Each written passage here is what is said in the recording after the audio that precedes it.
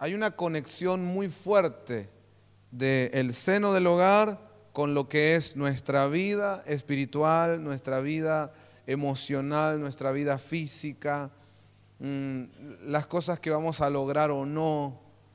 Cuántas cosas, hermanos, que, que tienen que ver con nuestra vida. Y hay un porcentaje pequeñito que depende de nosotros, de decisiones, pero el gran o mayor porcentaje de las cosas que nos suceden tiene que ver con nuestra casa. Entonces, eh, lo primero que necesitamos es entender esa realidad. Hasta que no lo comprendamos, no vamos a poder darle lugar a Dios, un, un lugar correcto al Señor para que Él obre y restaure y transforme, ¿verdad? Es como que solo vamos a, a tener ciertas victorias momentáneas o, por momentos como que tapamos cosas, como que maquillamos las cosas, o como muchos hacen, bueno, algún que otro culto en la semana eh, me hace olvidar de, de los temas profundos de mi vida y de mi casa, ¿no? Y entonces venimos a la iglesia y nos gusta las canciones, escuchar una palabra, eh, integrarnos en alguna actividad y vamos como haciendo pasar eh, el mal trago, frustraciones, cosas que tenemos en, en el interior del corazón y que se viven en casa. Pero cometemos el error de no atacar el problema de raíz. Mire, esto es como, como tener un cáncer y tomar aspirina, ¿verdad? Entonces, yo, yo me tomo una aspirina y en el momento me siento bien, porque ustedes saben que la aspirina es un medicamento que hasta el día de hoy no se sabe exactamente bien qué, eh, qué, tanto potencial tiene, ¿no? Lo que uno sabe es que toma ese medicamento y te sentís bien, de lo que sea. ¿eh? Te mejora, siempre te hace dar un, un sentimiento de bienestar. Pero obviamente todos no hace falta ser médico, sabemos que un tumor o un cáncer no lo vamos a combatir con aspirinas. Y se vería muy ridículo, ¿no? Querer combatirlo con eso. Hay que hacer otro tratamiento, hay que eh, entender ante el enemigo en que estamos y, y trabajar de otra manera. Bueno, así es en el tema de familia. La mayoría de la gente no quiere ver la gravedad o, vamos a decir la importancia de lo que sucedió en mi casa cuando yo era niño, de lo que sucede hoy en mi casa que soy adulto, la mayoría no quiere ver eso. Y queremos combatir el cáncer con una aspirina. Y aún me, me doy cuenta que sucede mucho entre los hermanos, entre la iglesia de Cristo. Queremos que Dios obre y venimos a orar y le pedimos, Dios, obra. Y cuando Dios dice, bueno, ok, yo tengo que meterme en esto. No, no, no, no, no, ahí no me gusta. No, vos obra y que yo no, no tenga que hacer nada, ni pensar nada, ni tomar decisiones, ni... Pero no funciona así, porque entonces Dios no cumpliría su propósito en nosotros. Hay, mire, hermanos, hay propósito de Dios para nosotros. Lo voy a decir de nuevo, hay propósitos de Dios para nosotros. Y, esos propósitos se tienen que cumplir. Y muchos de esos propósitos eh, tienen que ver con el desarrollo del potencial que Dios ya puso adentro nuestro.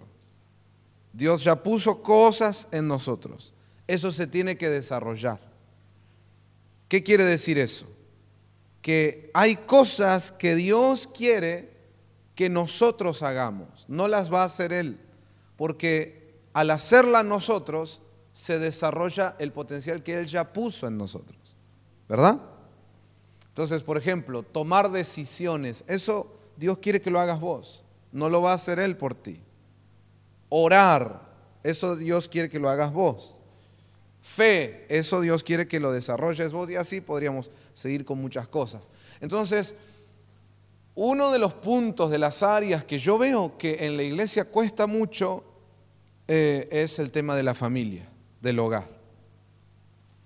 Y yo noté acá eh, en Don Torcuato, por ejemplo, una gran cantidad de hermanos que ya no vienen los miércoles.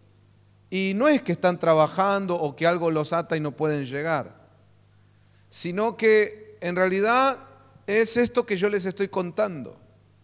No querer reconocer que el gran porcentaje de las cosas que nos pasa tiene que ver con casa. Entonces, como no lo queremos ver y no nos queremos que nos hablen del tema y como que mm, eh, nos inquieta, e, e, es, es confrontativo, entonces, ¿qué hace? Bueno, no voy los miércoles. Pero a la vez, eso es una estupidez.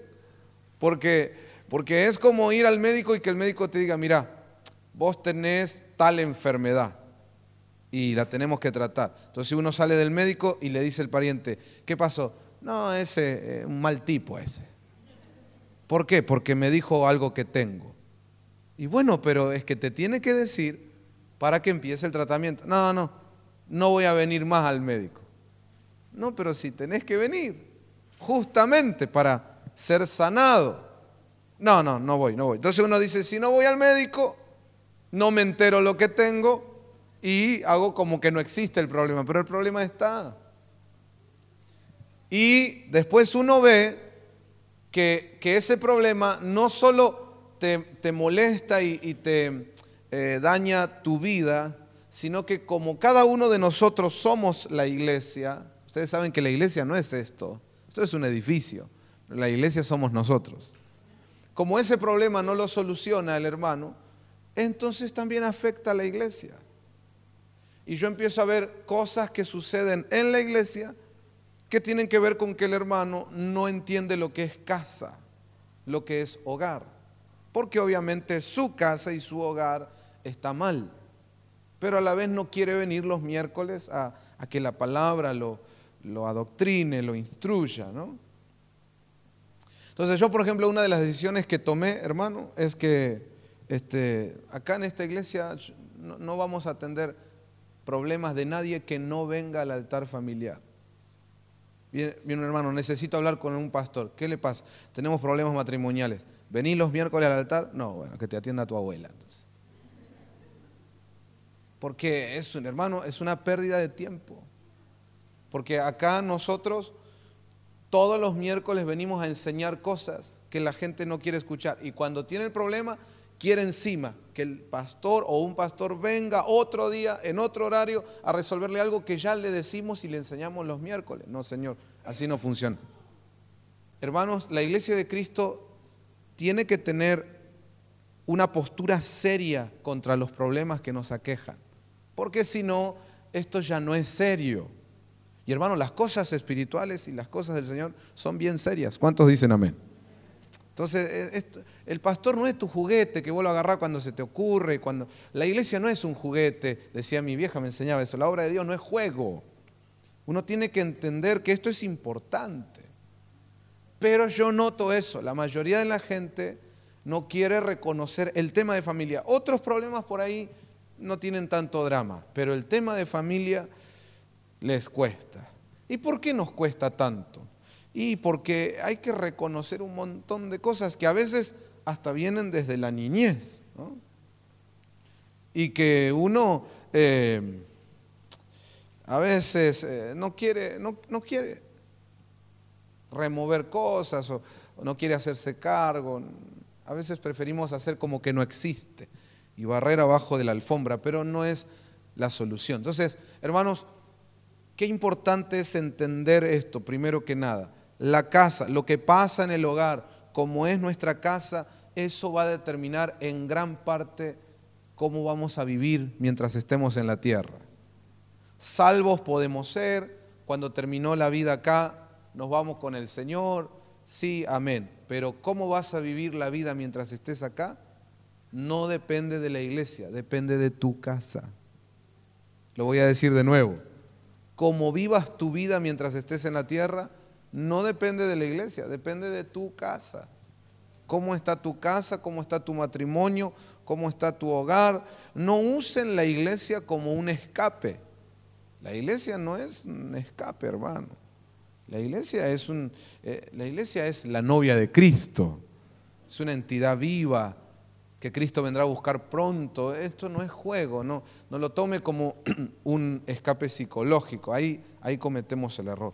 Entonces, yo quiero trasladarle a la iglesia la importancia de que nos sentemos a chequear nuestra casa, tranquilos, despacito, sin prejuicios, sin ponernos mal.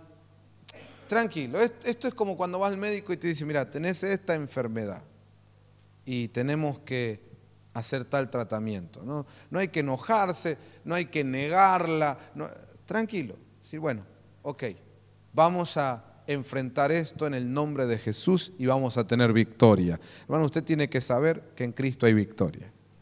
Siempre, siempre. Diga conmigo, con Dios siempre se gana, nunca se pierde. El, tema es cuando uno se escapa de Dios. Entonces el Señor te reúne los miércoles y dice, vamos a, a tratar la familia. No, no voy. Entonces, ¿cómo Dios va a obrar si no querés escuchar su palabra? ¿no? Ese es el problema, que nosotros le ponemos trabas a Dios. Pero si nosotros le dejamos a Dios obrar, hermano, con Dios siempre hay victoria. Siempre, siempre, siempre. Aun cuando al principio te parezca que, está bravo, que está fuerte, con Dios siempre hay victoria. Yo digo amén. Entonces, hermano, yo sé que el tema de familia es un tema así incómodo, no nos gusta mucho porque nos expone, porque eh, uno sabe en el fondo que es verdad y que ha hecho tal vez las cosas mal o ha venido desde una familia donde se hizo las cosas mal. Pero es necesario es necesario. Arrepentirnos, eh, renunciar a cosas, decirle, Señor, necesitamos empezar todo, todo de nuevo, todo de nuevo, Señor, un cambio. Como hablábamos el fin de, a través del apóstol Mario, el Señor nos decía, ¿no? Un cambio de genética, un cambio de corazón, un cambio de memorias, un cambio, hermano, es lo que veníamos hablando en los últimos meses, cambio de mentalidad, cambio de carácter. es eso, es eso no hay para dónde disparar.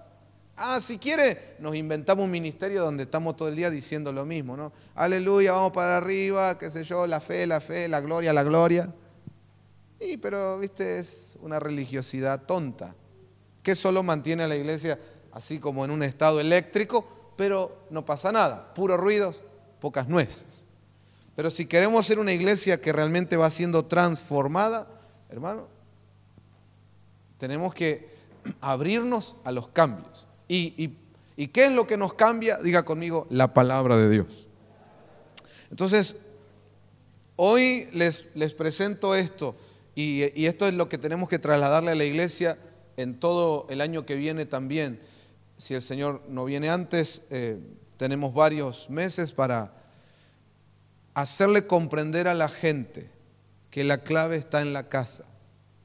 La clave está en la casa aún cómo las personas se comportan en la iglesia y cómo son en la iglesia, es por cómo es su casa y lo que pasa en su casa y lo que se vive en su casa. ¿Oyó eso? Si usted no tiene una familia sana y restaurada, usted viene a la iglesia y le va a saltar, hermano, en cualquier momento el fusible, demostrando que usted no está sano y no está restaurado y va a mirar a la iglesia eh, de una manera errónea. Porque mira, uno, uno tiene la frustración de uno y la frustración de su casa. Entonces, la idea que generalmente la gente toma de la iglesia es que eh, yo tengo males, mi casa tiene males, yo me desilusioné de mí, me desilusioné de mi matrimonio o de mis hijos o de mi casa, entonces ahora pongo todas mis expectativas en la iglesia. La iglesia tiene que ser perfecta.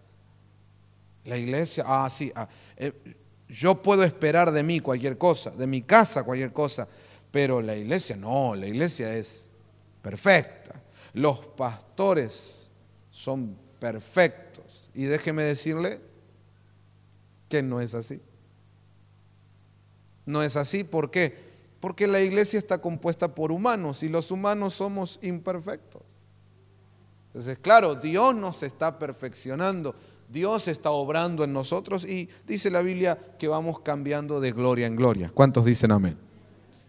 Pero cuando uno no está sanado, cualquier defecto, imperfección o algo que le vea a la iglesia o a los hermanos o al pastor ya lo toma mal. Y se pelea con los hermanos, se, le agarra crisis con las cosas de Dios, algunos están pensando apartarse, todo, todo un mundo de pensamientos locos, porque uno no está sano. Entonces, si uno escarba en la vida de ese hermano, te das cuenta que así le ha pasado a él en su vida amorosa, así le ha pasado en su casa, tiene, tiene una casa sin ser reparada y sin ser sanada. Y eso lo traslada a la iglesia.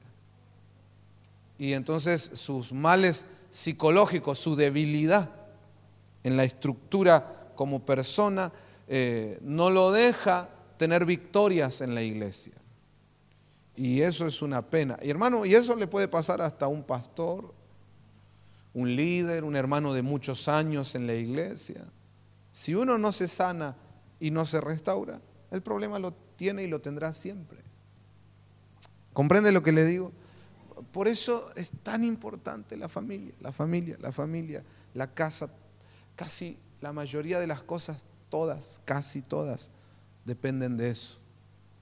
Por eso los miércoles cuando venimos acá, hermano, tiene que usted aprovechar el momento de la palabra, aprender, aprovechar el momento de la oración y pedirle, Señor, es, el miércoles es el día que le dedicamos en MCN a la familia.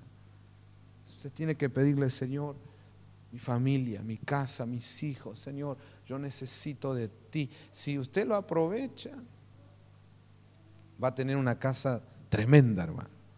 Porque cuando Dios obra, cuando Dios restaura, Él hace obras de arte, Él hace cosas maravillosas. Y eso es lo que tenemos que hacer. Entonces, déjeme mostrarle Proverbios capítulo 22, verso 6. Proverbios 22, 6.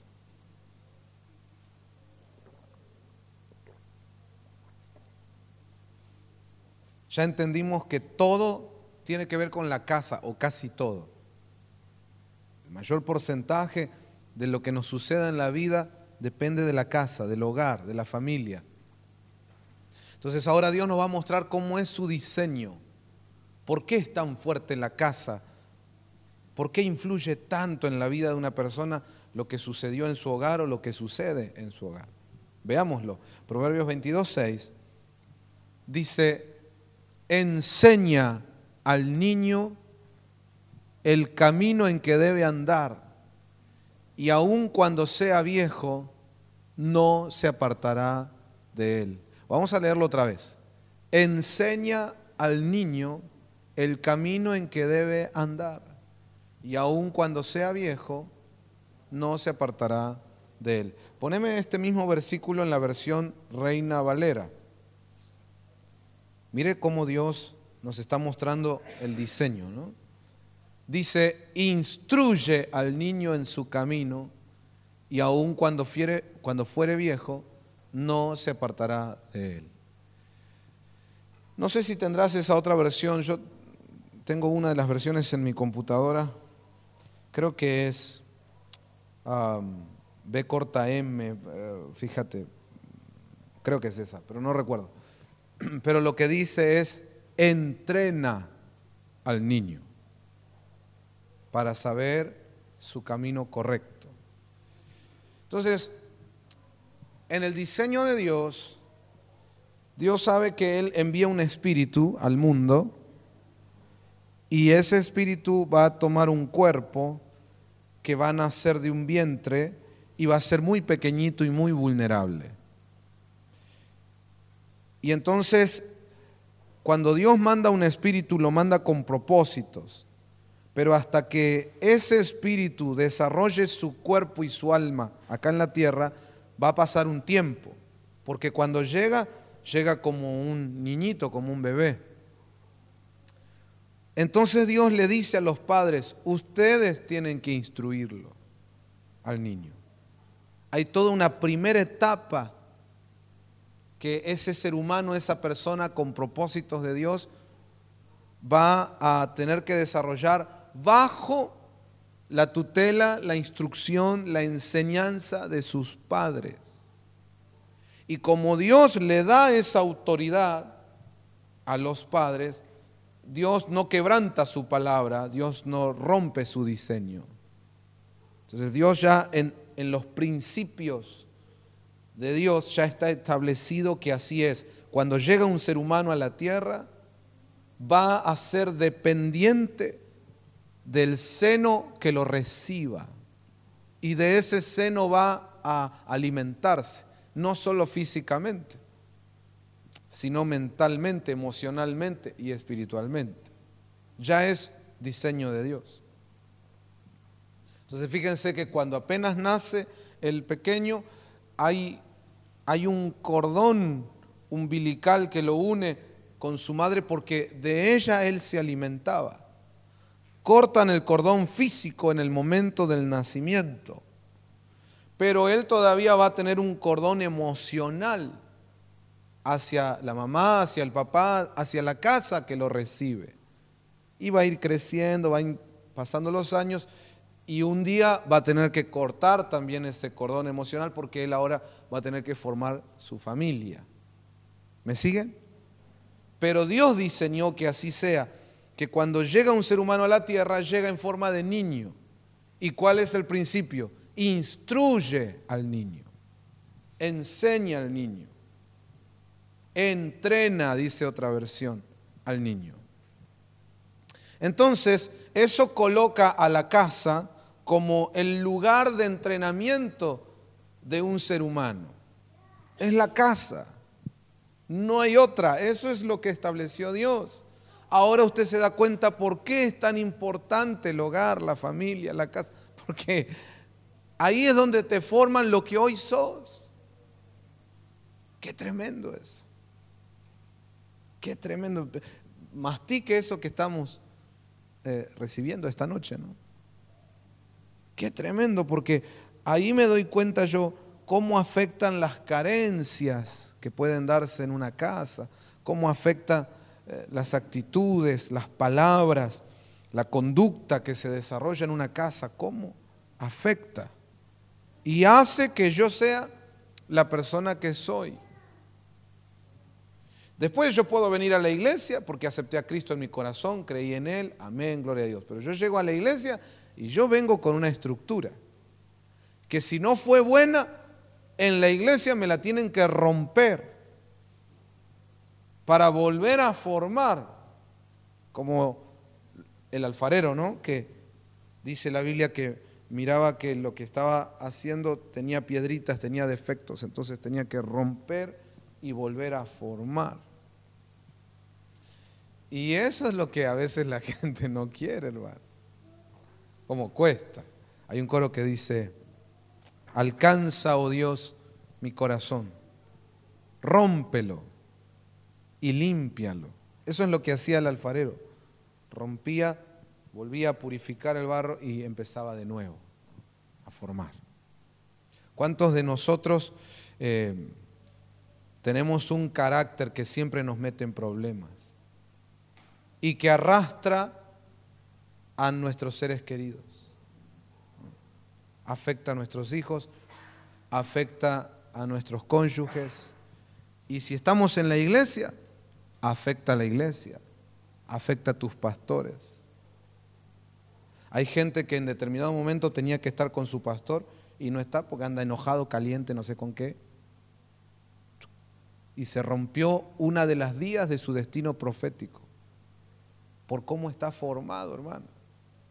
Mira, esto es tan grave como cuando Moisés dice, ok, vamos a entrar a la tierra prometida, Dios dice, Moisés, vos no vas a entrar. ¿Por qué no? Porque yo te mandé a hablarle a la roca y enojado la golpeaste. Tremendo. Entonces, hay, hay veces que un momento determina tus próximos cinco años. Y si no, pregúntenle a aquel que en un arrebato hace algo malo, no sé, en una desesperación, en un arrebato, robar, matar, lo que sea, lo que hizo en 15 minutos le afecta a sus próximos 10 años en la cárcel. ¿Se da cuenta?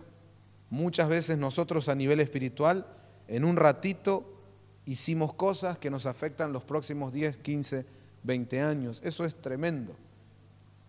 Por eso es que uno en la iglesia tiene que venir y ponerse bajo el examen de Dios y ver cómo fui formado, cómo soy yo y entender eso depende de mi casa, de cómo me formaron de niño. Pero ahora que yo soy adulto, no solo tengo el problema de cómo me formaron a mí de niño, sino de que ahora yo estoy formando a otros. Y si yo soy un problema por cómo me formaron, y ahora tengo dos o tres hijos, ya no hay un problema, ahora hay cuatro problemas. Tremendo. Y todo eso es por cómo diseñó Dios las cosas. Entonces Dios dice, el ser humano que yo envío a la tierra va, a entrar en la tierra en forma de niño y él va a depender de la casa a la que llegue. Y esa casa lo tiene que entrenar. Entonces acaba el primer problema. ¿Cómo los papás podemos entrenar hijos si nosotros no fuimos entrenados? Ahí está la importancia del altar familiar. Yo creo que el 92%, por dar un número, de la iglesia MCN no fue entrenada para ser padre y para tener un hogar excelente. La mayoría de nosotros venimos de familias que tuvieron problemas. Entonces por eso está el altar familiar. Pero si ni al altar familiar voy, ¿cómo se va a solucionar el problema? ¿Se entiende? Entonces yo no puedo entrenar seres humanos, hermano, ¿cómo voy a traer hijos al mundo si no estoy capacitado para entrenarlos? Siendo que yo no fui entrenado, yo todavía tengo fallas. Yo, mire, hay gente que tiene 30 o 40 años de edad, pero tienen un niño encerrado adentro, malcriado, caprichoso, que nunca maduró. Es un niño. Puede tener 40 años físicamente, pero mentalmente es un niño, un inmaduro, una inmadura. Empieza a llorar, caprichosa la mujer, hace berrinche como, como una niña de 5 años. ¿Y cuántos hombres saben de eso? No dicen nada porque la tapan a la mujer. No se trata de andar exponiéndola, pero saben de lo que hablo. O hermanas, que saben cómo es su esposo. Cómo se enoja cuando no le da lo que quiere, como un chico de cuatro años. ¿Se da cuenta? Es que, es que esto es más importante de lo que creemos, hermano. La, la mayoría de las cosas depende de cómo nos formaron o nos desformaron. Entonces, ¿cómo puedo entrenar yo si yo no fui entrenado? Miren, miren lo que está pasando en la sociedad hoy. Un pibe se va con una piba y tiene relaciones, quedan embarazadas y tienen 16 años, 17 años como mucho. Bueno, entonces ahora va a venir un niño, pero sus padres también son niños. ¿Cómo van a poder entrenar a un niño si ellos también son niños? Y eso es un problema que se da hoy en la sociedad. Y la iglesia ahí tiene que ver cómo traemos la restauración. Otro caso, hay gente que no tuvo niñez. Lo hicieron madurar de golpe. Tal vez creció en un ambiente donde de chiquito ya le pusieron responsabilidades, lo hicieron trabajar, que se encargue de sus hermanos, como sea, no le dejaron tener niñez. Esa persona creció así, ahora va a ser padre y él no puede entrenar a un niño porque él nunca pudo ser niño. Él no entiende lo que es ser niño. Y eso, de esos casos hay muchos también. Y luego podríamos entrar en los otros casos, de gente que no ha tenido presencia de padre o de madre o de ambos, que han sido rechazados, que crecieron en hogares disfuncionales o donde había violencia, donde había pecado. Bueno, cuántas cosas. Pero Dios sigue firme en su diseño. Cuando llega un ser humano al mundo, va a depender de sus padres. Ellos lo tienen que entrenar. Dios no es que mira y dice, uh, me parece que me equivoqué, vamos a cambiar la forma. No. Y cuando el ser humano quiere cambiar las cosas, las empeora. Porque, por ejemplo, hoy día, en muchas naciones, el Estado se da cuenta que hay gente que hace cosas aberrantes con sus hijos. Propios padres o padrastros violando, abusando de sus hijos. propios padres o padrastros cometiendo violencia con sus niños. Entonces dicen, ok, tenemos que hacer algo, dice el ser humano, ¿no? Creyendo que puede solucionar las cosas. Y sacan leyes, por ejemplo, como nuestro país. Sacan leyes donde eh, lo que pretenden es sacarlo al niño de la casa o sacarle autoridad a los padres sobre los hijos. Ahora los padres ya no pueden corregir, no le pueden decir nada al niño porque si no, el niño los puede denunciar, qué sé yo. Tremendo, ¿no? Entonces el ser humano cuando quiere arreglar las cosas las empeora. Pero hermanos, la esperanza es Cristo. La restauración está en Dios y en su palabra. ¿Cuántos dicen amén? Ayúdame el que tenés al lado decirle, la mayoría de las cosas que te pasan tiene que ver con tu casa. Por eso qué bueno que viniste al altar familiar que vengamos siempre para que Dios nos restaure y nos sane. ¿Cuántos dicen amén? Yo valoro a los hermanos que ya tienen edad, que tal vez tienen sus hijos grandes y que igual vienen al altar familiar, porque muchos hermanos podrían decir, bueno, yo ya está, mis hijos ya son grandes, ¿qué me van a enseñar a mí en la iglesia? Yo ya viví. Y por ahí tiene una vida donde cometió muchos errores donde no solo él, sino su siguiente generación están mal. Y el único que puede sanar y restaurar eso es Dios. Entonces qué bueno es venir a la casa del Señor. Y ni hablar de los más jóvenes, los que van a iniciar, eso es maravilloso. Bueno, está planteado el problema. ¿Cómo podemos entrenar si yo no fui entrenado? Entonces ahora viene Dios y dice, esta es mi iglesia que yo voy a edificar. Y esto será casa de Dios, familia de Dios. Así dice el libro de Efesios. Antes ustedes eran extranjeros y advenedizos, pero ahora sois hijo, ahora sois miembros de la familia de Dios. O Dios como ve que el hombre se perdió, se pervirtió, Dios viene, hermano, y establece familia en la tierra. Por eso la Biblia habla de las familias en el cielo y en la tierra. Dios establece familia aquí a través de Cristo Jesús. Lo que Cristo hizo en la cruz es tan maravilloso porque logró un montón de victorias. Una de ellas es que hay familia de Dios acá en la tierra. ¿Cuál es la familia de Dios acá en la tierra? La iglesia de Cristo. Y usted y yo podemos ser parte de esa familia aceptando a Cristo como Señor y Salvador.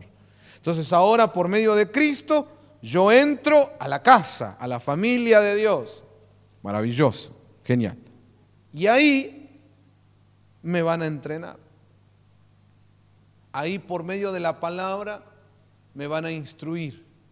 Y entonces ahora yo, eh, de lo que recibo de esa instrucción, tengo que instruir a mis hijos.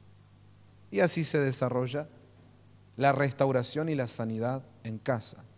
Entonces, fíjese qué cosas interesantes nos muestra la palabra para sanarnos, para restaurarnos y que podamos entrenar a nuestros hijos, instruir, como dice esta versión, a nuestros niños. Déjeme mostrarle, hay tres casos que hoy quiero mostrarles bíblicos. Primer caso, Vamos a leer Segunda de Reyes, capítulo 11, verso 1 en adelante. Hoy solo vamos a ver tres porque hay muchísimos, pero por causa del tiempo solo tres. Y vamos a verlo juntos. Como dice, cuando Atalía, madre de Ocosías, vio que su hijo había muerto, su hijo era rey, se levantó y exterminó a toda la descendencia real. Ella mandó a matar a todos los descendientes. Mira qué tremendo. Mandó a matar, dentro de su casa, a toda la descendencia real. Verso 2.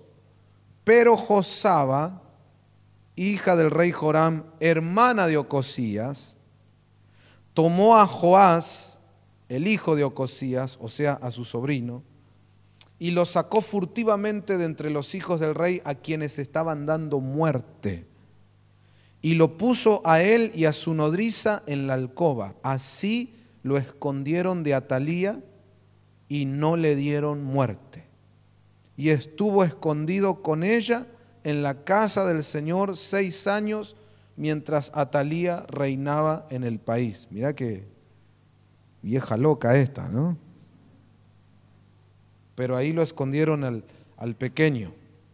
Bueno, sigamos. Verso 4. Pero en el séptimo año Joyada mandó a buscar e hizo venir a los capitanes de centenas de los cariteos de la guardia.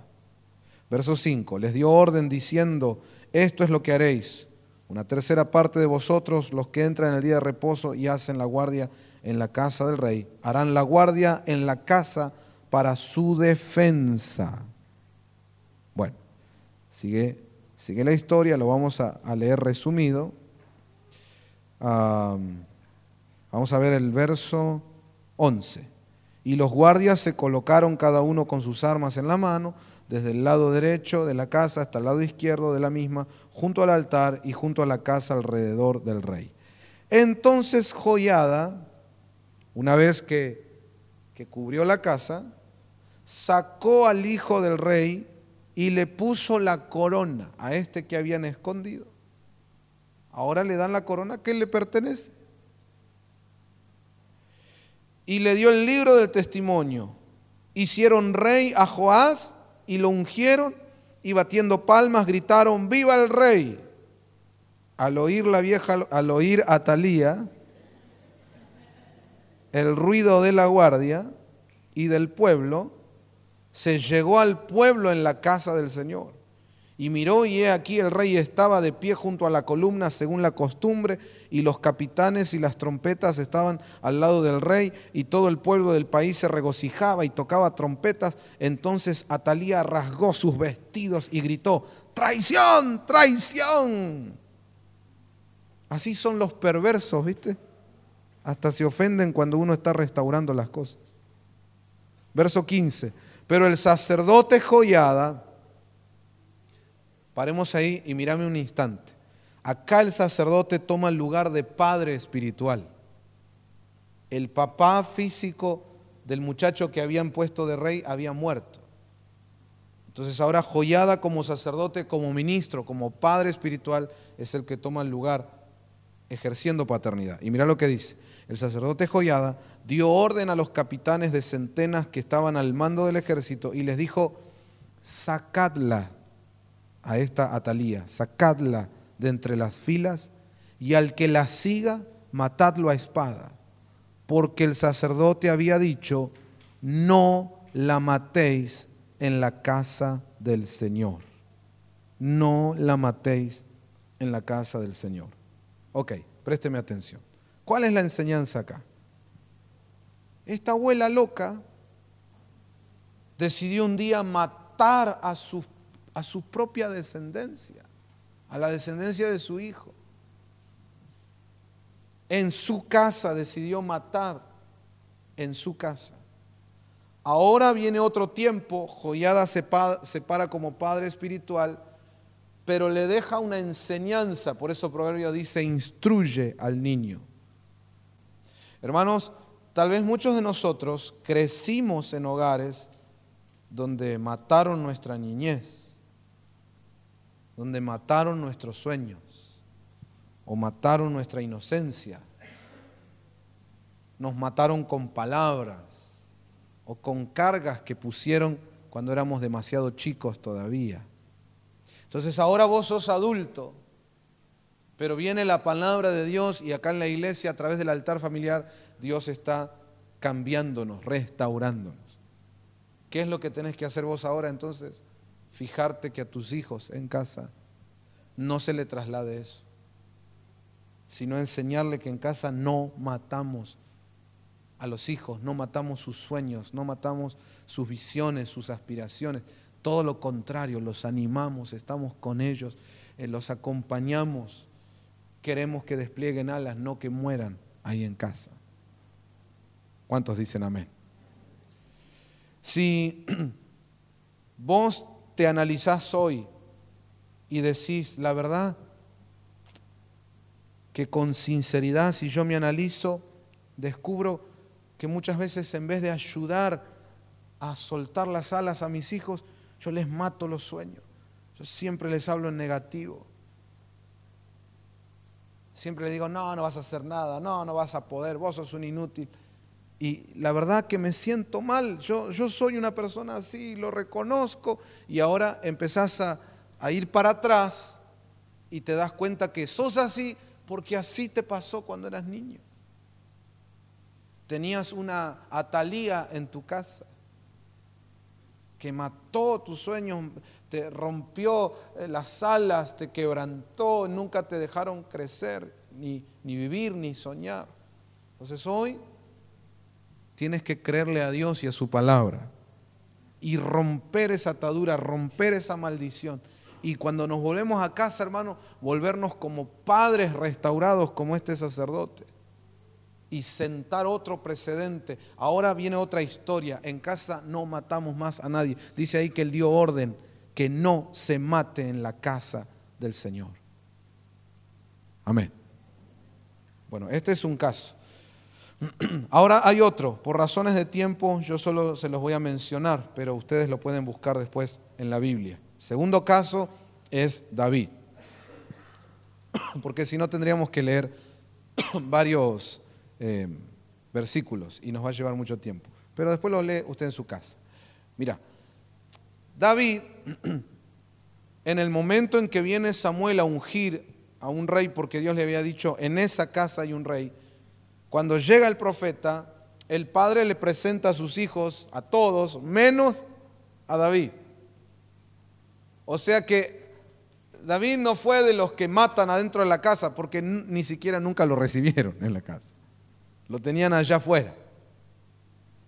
Algunos hablan de, de cierta historia que se pudo haber dado porque hay un salmo donde David dijo, en pecado fui concebido, en pecado me concibió mi madre. Entonces algunos creen que tal vez ah, David era hijo o producto de una aventura, de, un, de una cañita al aire que se tiró el, el padre, ¿no? Y por eso no lo incluían dentro de, de la familia, tal vez como un bastardo. Pero el punto es que él era rechazado. Y entonces allá estaba en el campo. ¿Qué hace Samuel? Guiado por Dios, lo manda a llamar. Cuando entra David, delante de la casa, Dios lo unge como rey, delante de sus hermanos. El que fue rechazado, Dios lo levanta y lo escoge como, como el hombre de Dios, como el rey para Israel. Ahora, esa familia nunca lo protegió, nunca lo mimó, nunca le dieron besos, abrazos, nunca estuvieron con él, lo dejaron allá afuera en el campo solo. ¿Verdad? Ahora Dios lo toma en sus brazos y lo planta como el rey de su casa. Muy bien, pasan los años, David se hace grande, David se transforma en un gran rey. Y si ustedes leen la Biblia van a encontrar varias ocasiones donde David batallaba con una vehemencia, el tipo tenía una polenta, de hecho la Biblia dice que no perdió una sola batalla. Y lo hacía en defensa de sus hermanos y de su casa. O sea, eh, el que fue rechazado por su casa, ahora él batalla por ellos y los defiende a ellos y gana victorias enormes en favor de ellos. ¿Cuál es la enseñanza? Nosotros podemos venir de hogares donde fuimos rechazados. Pero ahora que somos grandes y viene la palabra de Dios a sanarnos, a restaurarnos, nosotros como padres no le podemos trasladar eso a nuestros hijos. sino que la instrucción, eh, eh, el entrenamiento que yo le tengo que dar ahora a mis hijos tiene que ser muy diferente, como David. Aunque él fue el rechazado, él ahora es el que los cuida, los protege, el que pelea por ellos. Y esa es la instrucción que le tenemos que pasar a nuestros hijos. Yo estoy para pelear por vos, yo estoy para cuidarte. Cualquier cosa que te pase, vos corre a papá, a mamá, esta es la casa que te cuida. Amén. Aunque no hicieron eso conmigo. Ahora, si usted hoy ante la palabra de Dios nota y dice la verdad, que cuando a veces en casa hay problemas, yo no, no acudo a ayudar, yo no estoy ahí para bendecir, como, como que no me interesa, como que, bueno, cada uno arréglese como pueda. Y ahora por la palabra yo descubro que yo soy así porque así me hicieron a mí de chico. Nunca conté con papá, con mamá, yo me arreglé como pude. Ellos, ni, yo andaba por la calle y ni sabían donde yo estaba, volvía a cualquier hora, a ellos no les importó nunca nada. Y una vez no se da cuenta que eso mismo está repitiendo con sus hijos. Entonces hoy la palabra nos sana, nos restaura. Vamos, diga conmigo, voy a escribir una nueva historia. Y hermano, eso solo lo hace Dios a través de su espíritu y su palabra. Por eso nunca, nunca le ponga trabas al Espíritu de Dios y a la palabra de Dios. Deje que el Señor obre en usted, porque ahí es donde somos sanados. Amén. Caso número tres es la historia de Mefiboset. Anótelo para después leerlo en su casa. Yo voy rápido por razones de tiempo. Mefiboset era hijo de Jonathan. Cuando Saúl y Jonathan murieron en batalla, y por fin se, se terminó toda esa era de Saúl y David queda como el único rey en Israel, gran parte de la familia o de la parentela de los que eran la casa de Saúl salieron huyendo porque pensaban que los soldados de David los iban a matar a todos. Ellos intuyeron, si ya no está Saúl y ya no está Jonathan, David nos va, va a mandar a matarnos a todos. Entonces salieron huyendo. En eso que salen huyendo, una nodriza que llevaba al niño en brazos cae y cae de mala manera, de tal forma que rompe las piernas del niño. Y el niño creció cojo. Y estuvo un montón de tiempo en un lugar llamado Lodebar. Lodebar significa sin palabras sin productividad. Significa pobreza, miseria, no hay, no hay frutos, no hay bendición. Y ahí pasó unos cuantos años. Cuando pasó el tiempo, un día David se levanta y dice, ¿habrá quedado algún descendiente? Alguien a quien yo tenga que hacerle misericordia por mi amistad que yo tuve con Jonathan. Y entonces uno de los siervos de David le dice, hay uno, hay un hijo directo de Jonathan, se llama Mefiboset. Mefiboset es un nombre compuesto, pero que tiene que ver con vergüenza. Y entonces David lo mandó a llamar. De ahí viene la frase, el rey te mandó a llamar. Y yo recibo eso en el nombre de Jesús. Cuando a veces usted siente que está en lo de bar, que está en, un sitio parece olvidado, viene la palabra y te dice, el rey te mandó a llamar. Bueno, lo fueron a buscar y lo traen. Y entonces David lo sienta en la mesa real y le dice, este es tu lugar. Yo era amigo de tu padre y yo hice un pacto con tu padre, así que ahora todo esto es tuyo, te pertenece. Le cambió la vida así, en un minuto, hermano. Y algo interesante es que eso lo hizo en la mesa. ¿Dónde lo hizo? En la mesa. Entonces, ah, el, el que nunca fue valorado, David, el que nunca fue invitado a la mesa, acordate que en la casa de David ni siquiera lo trajeron a comer cuando vino el profeta, lo tenían allá en el campo. Al que nunca lo hicieron sentir valioso, él ahora restaurado manda a traer a Mefiboset y lo sienta a la mesa, haciéndolo sentir un rey. Cuando él venía de Lodebar, lo hace sentir valioso. Y en la mesa está el mantel que cubre sus piernas, las cuales le hacía sentir vergüenza, cubre su vergüenza. Eso habla de cobertura, hermano. Y me llama la atención que sucede todo esto en una mesa, porque justamente es otra de las bendiciones tremendas que hay en la Santa Cena. En la mesa del Señor Dios nos hace sentir valiosos. Nos dice que nosotros no somos unos desventurados, sino que somos reyes y sacerdotes. Y nos hace participar de su mesa. Bueno, ¿cuál es la enseñanza? Que tal vez usted de chico nunca lo hicieron sentir valioso. Pero ahora que es grande y trajo hijos al mundo, nosotros tenemos que ministrarle, por eso dice, instruye al niño, tenemos que ministrarle lo que tal vez no hicieron con nosotros. Pero David pudo dar vuelta a la historia y aún bendecir al hijo de su amigo, cubriéndolo y haciéndolo sentir valioso.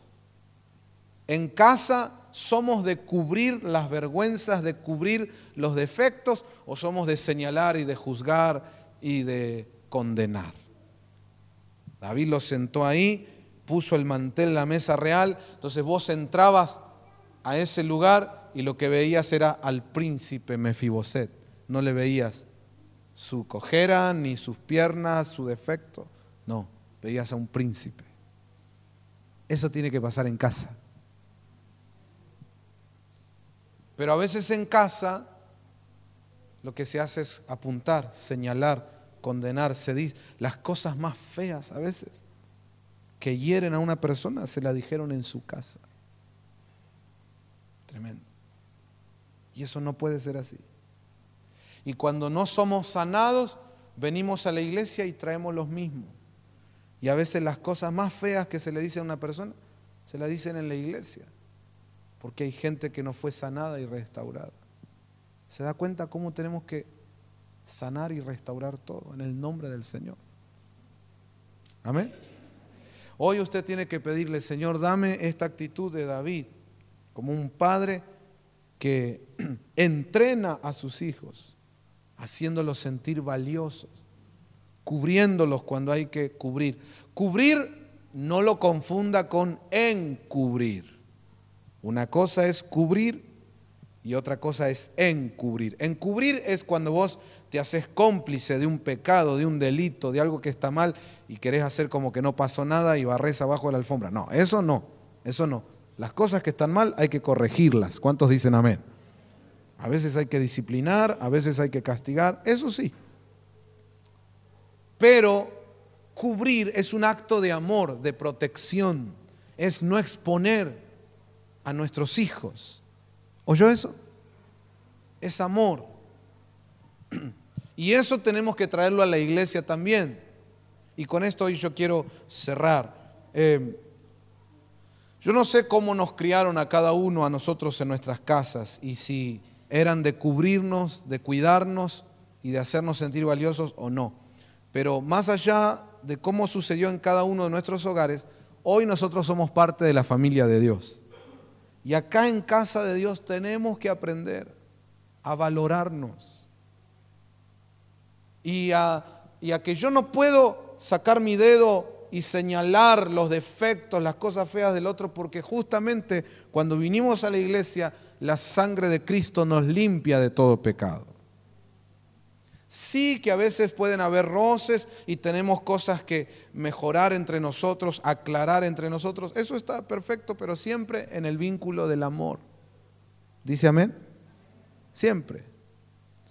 Pero otra cosa es ya cuando somos juzgadores y señaladores.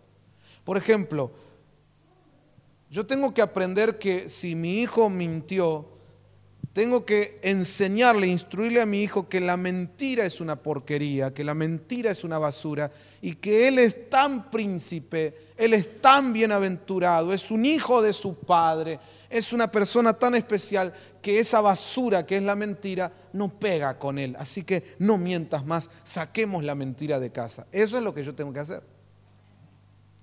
Pero algunos cuando están enojados, lo que hacen es decirle, lo que pasa es que vos sos un mentiroso. Eso ya es distinto. Porque ahí ya lo estás maldiciendo. Ahí ya te olvidaste de la sangre de Cristo y todo. Vos le estás diciendo, vos sos. Y no, no es que él es. Yo declaro que mi hijo no es mentiroso. Sí que por ahí incurrió en mentira y lo corrijo, pero él no es mentiroso. Lo que pasa es que vos sos un inútil. No, porque lo estás maldiciendo. Él no es un inútil. Se equivocó, hizo algo mal, se le cayó algo. Hay que corregirlo, pero no lo maldigas. ¿Cuántos dicen amén? Pero vos sos un idiota, decimos, no, cometió una idiotez, pero no es un idiota. Amén. Y eso a veces nos cuesta. ¿Por qué? Porque cuando estamos enojados decimos barbaridades. Y a veces en la iglesia ocurre lo mismo. Vos sos esto, vos sos... Hermano, paremos de decir vos sos, vos sos, porque acá el único que sabe quién es cada uno es nuestro Padre Dios. Entonces, nada de vos sos, vos sos, no. Lo que hay que aprender es decir, mira hermano, con esta actitud vos estás incurriendo en tal falta, pero no lo maldiga. Porque es hermano. Esto es casa de Dios. Y si no aprendemos eso desde el hogar, tampoco lo haremos en la iglesia y ahí es donde estamos afectados. Por más que después cantemos, dancemos, fiesta, hacemos una fiesta, pero somos una casa enferma, ¿entendés? Y, y así no funciona. Pero queremos ser sanos y ser libres y restaurados. ¿Cuántos dicen amén? ¿Cómo me doy cuenta que alguien no lo hicieron sentir nunca valioso? ¿Cómo me doy cuenta? Porque cuando vos contás una bendición, siempre te responde con algo malo. Entonces presten atención en casa. Por ejemplo, en la iglesia vos decís, ¿viste que quedó linda la iglesia? Sí, pero lo único que estuvimos andando pintando a las corridas.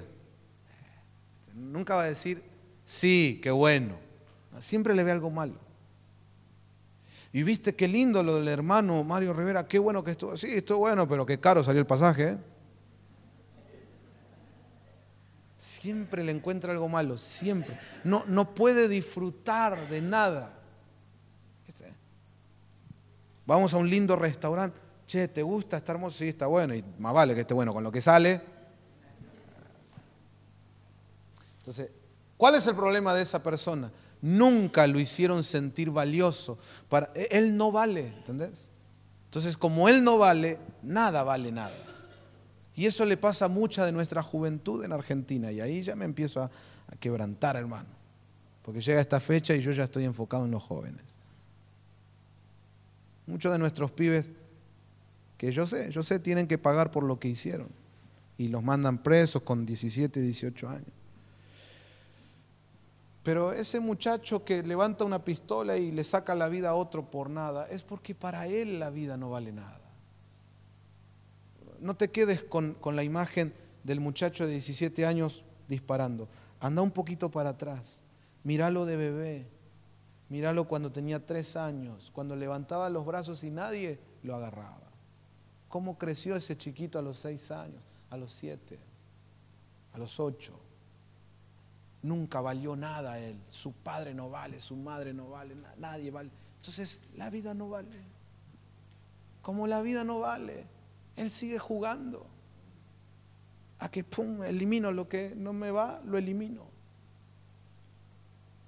Y sí, por supuesto que está bien que sea enjuiciado y pague por lo que hizo, pero no creamos como sociedad que la solución es solamente meterlos presos o como dicen algunos locos, eso hay que mandarlo todo al paredón. No, hermano, tenemos que revisar nuestras casas, nuestros hogares. Somos producto de lo que pasó en casa. Entonces, yo no sé, tal vez no tengamos la posibilidad de cambiar a todo el país, pero sí podemos empezar el cambio acá en la iglesia. Y valorarnos, valorar a nuestros chiquitos. Cuando vienen acá a la iglesia nuestros niños, no estén juzgando, uh, ese es un peleador, uh, ese es tal cosa, no, con aquel no te junte. ¿Y, ¿Y vos qué haces para cambiar la historia de ese niño?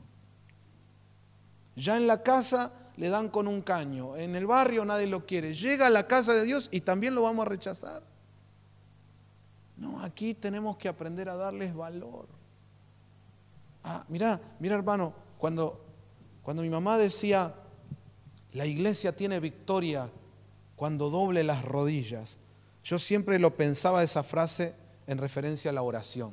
Ella lo decía por la oración, cuando la iglesia dobla las rodillas para orar. Pero ahora yo le sumo otra cosa, cuando la iglesia dobla las rodillas para agacharse y estar cara a cara con nuestros niños que los abraces. Hay niños a veces que eh, por la realidad que vivieron vienen con traumas, vienen con cosas feas que afectan a otros niños. Y yo sé, a nadie nos gusta que nos toquen a nuestros hijos. Pero la solución no es tirar una granada y que mueran todos. La solución es ser como David. Traigan a Mefiboset, Tráiganlo a la mesa del Señor, cubramos sus vergüenzas, restaurémoslos y hagámosles sentir que son valiosos, porque lo son. Son hijos del Señor. Cristo derramó sangre en la cruz por ellos. Ahora eso, olvídate que lo hagamos en la iglesia si no lo hacemos en casa. Y te voy a decir algo, hermano, fuerte, pero viene de parte de Dios. Si nuestra actitud es indiferente con los hijos de los demás, un día así también tratarán a tus hijos. No podrás estar todos los días, las 24 horas, cuidando de tus hijos. Un día ellos también estarán afuera, expuestos a alguien o a algo. Y la Biblia dice, todo lo que el hombre siembra, eso cosechará. La historia de David con Mefiboset me impacta porque no era pariente de David todo lo contrario, era pariente de la casa enemiga de David. Pero David le hizo misericordia, misericordia. ¿Sabe lo que va a cambiar nuestros hogares? La misericordia. En hebreo se dice rayem, con M final. Toda palabra hebrea terminada en M es plural, porque no es misericordia, es misericordias que nosotros tenemos que hacer. Y si lo hacemos acá en la casa de Dios, eso también lo llevamos a nuestros hogares. No sean demasiado severos con sus hijos, con su casa. Tengamos misericordia. Ayudemos, estemos con ellos. Acá en la iglesia hay hermanos que por ahí no tienen el nivel espiritual de otro pastor o de otro líder o de otro hermano, pero no por eso lo descartes. Hay gente que llega a la iglesia y tiene dones, lindos dones. A veces tienen dones tan lindos que a muchos le despierta envidia, porque tiene un don muy lindo. Pero después cuando muestra su falencia en el carácter, que hacen muchos hermanos, ah, viste, yo sabía, aunque puede cantar muy lindo, pero bien desgraciado que es.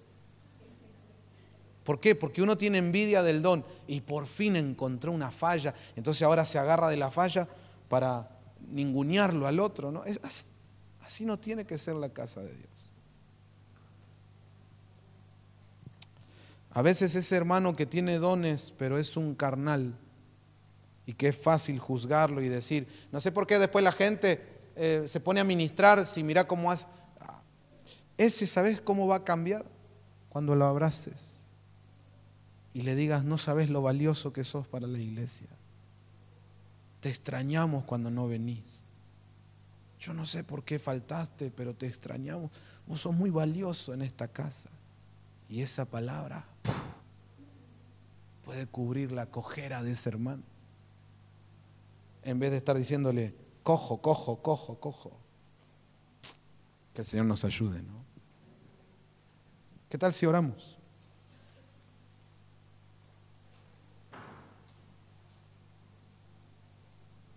Señor, enséñanos a hacer casa. Instruyenos, entrénanos, para que nosotros podamos, podamos entrenar a la siguiente generación, Señor. Danos amor de papá, amor de mamá. Y ayúdanos a darle ese amor a los chicos que llegan a la iglesia y no tienen esa posibilidad. A los mefiboset que están sin padre, sin madre, que en el mundo les rompieron las piernas. Ayúdanos, Señor.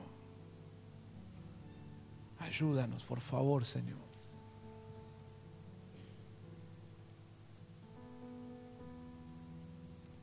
Y que comience esta sanidad, esta restauración en casa, en nuestros hogares, Señor. Te pido que nos sanes a los que venimos de hogares que cuando éramos niños no nos hicieron sentir valiosos nunca nos rechazaron o aún nos mataron. Señor, sana esas heridas, restaura nuestro corazón y ayúdanos que ahora de adultos nosotros no continuemos esa historia, sino que la transformemos en el poderoso nombre de Jesús. Y a nuestros hijos físicos, ministrarles de otra manera, instruirles otra cosa. Y también a nuestros hijos espirituales, a los niños, jóvenes y almas que lleguen a la iglesia, Señor. Instruirlos de otra manera. A veces no sabemos qué decirle a la gente, pero hoy tu palabra nos enseña que le podemos decir, vos sos valioso, Vos sos importante, vos sos un campeón. Jesús te ama y yo también. Esta iglesia te ama, te necesita. Tu casa te ama. Señor, yo suelto esta palabra para todos los que crecieron rechazados, crecieron sin valor como Padre Espiritual suelto esta palabra desde lo profundo de mi corazón y del corazón de Dios, diciéndote, tú eres valioso aquí. Esta casa te ama, Dios te ama, tus pastores, tus hermanos, somos familia y eres valioso, eres importante. En el nombre de Jesús vengo a romper toda atadura diabólica, todo cordón umbilical emocional que nos mantuvo conectados a malas influencias de las casas donde crecimos, donde tal vez donde tal vez ellos tampoco fueron entrenados, ellos tampoco supieron cómo hacer. Por eso los perdono, perdono a nuestros padres a nuestros abuelos. Establezco el perdón en esta casa en el nombre de Jesús, porque seguramente ellos no fueron entrenados. Y desde su ignorancia, desde su falta, desde su pecado hicieron lo que les salió. Los perdono y los bendigo en el nombre de Jesús.